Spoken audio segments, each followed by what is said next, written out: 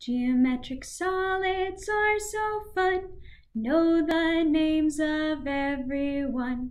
Rectangle, prism, triangle, prism, square base, pyramid, triangle base, pyramid, cylinder and cone, cube and sphere, ellipsoid, ovoid are all that are here.